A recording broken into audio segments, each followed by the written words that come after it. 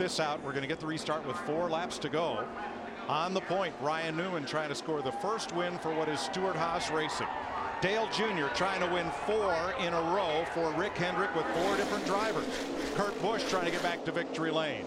Not and sure what Tony Stewart yeah, just did. Uh, Tony's car, Mike. Tony's not going. Something's wrong with his car. Yeah. He's uh, off the pace. Not getting up to speed at all. No. And you see what Dale Jr. was talking about. He's laying a wood to, he's laying a bumper to that 39 car, trying to get him away from the rest of the pack. But tell you what, that 31 and that six, and maybe that 20 car, I think they may have a little something for that front two or three. No real big runs yet. No real big runs. You're Three laps to go when they come back. Newman trying to hold the bottom. And look uh, at our buddy Carl Edwards who hung around at the back all day. And here he is. He's in the eighth position right here in the back of this lead pack in pretty darn good shape. Coming Single to three five. to go. Three to go.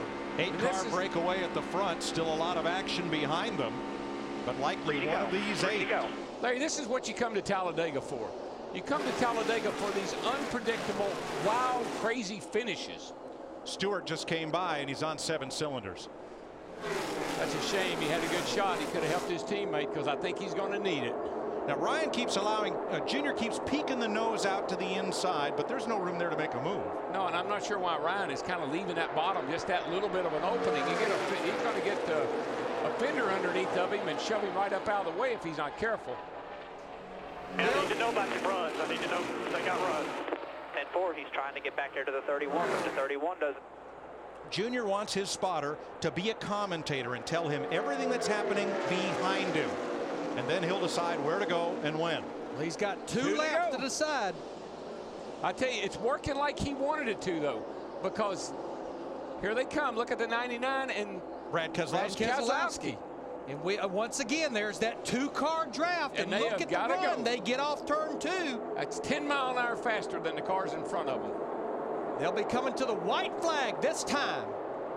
It's going to get interesting because Junior cannot sit there and run second. This is his best shot at winning he's had in a while.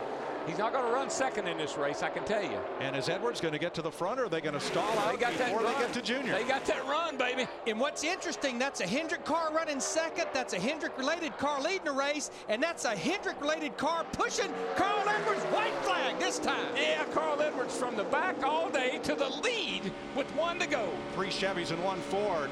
And it doesn't matter now. Your friends are where you find them. And from oh, hanging boy. out back, Carl Edwards. I'll tell you, I don't know if they can catch him. What we've seen today, two cars get that big a lit run on them. I don't know that the 39 and the 88 can catch them.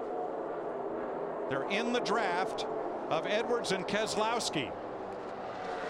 He's all over you here, just you and him. Carl Edwards restarted eighth.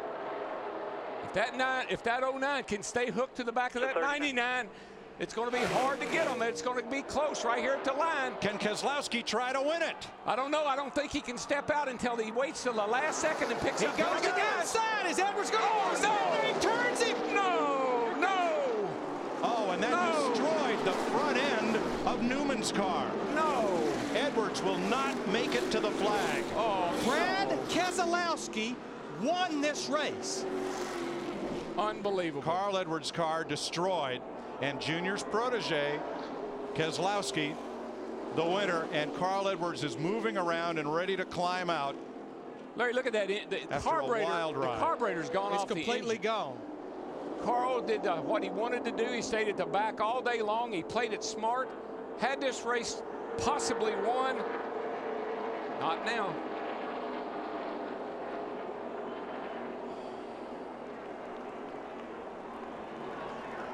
Not sure where Carl's going. Maybe he thinks if he runs across the start-finish line, it'll count. That's what he's. It's, that's what he's doing. That's what he's doing. He's like a mar You know how he is. He's an athlete, a marathon runner. I want to finish the race. And he did yes, to he a did. standing ovation from the crowd. Shades of Ricky Bobby.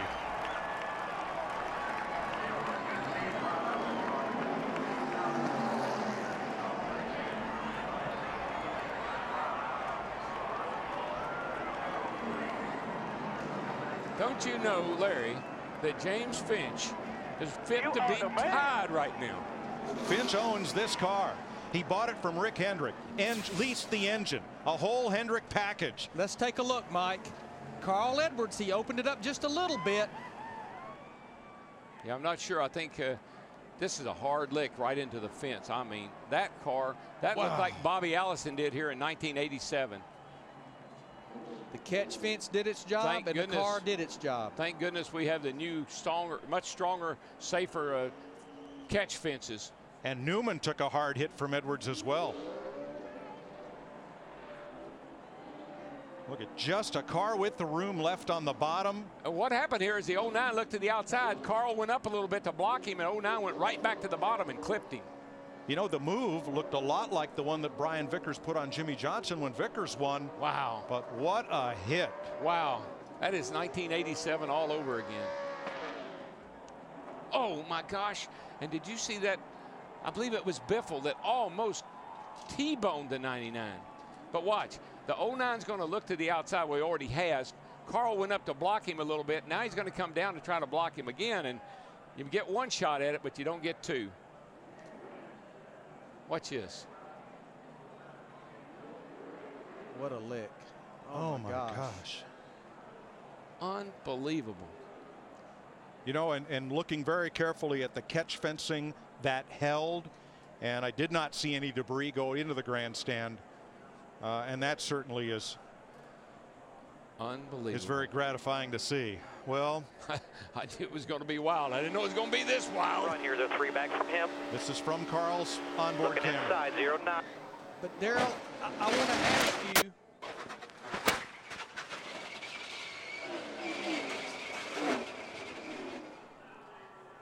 And from Dale Jr.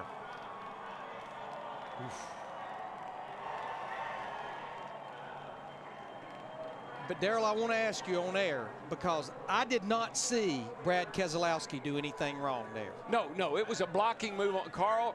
The 09 looked to the outside. Carl went up to block that move, and when Carl came down, the 09 was there. Another first time winner at Talladega. Here's the cool down lap. Dale Jr. and Brad Keselowski kind of getting together.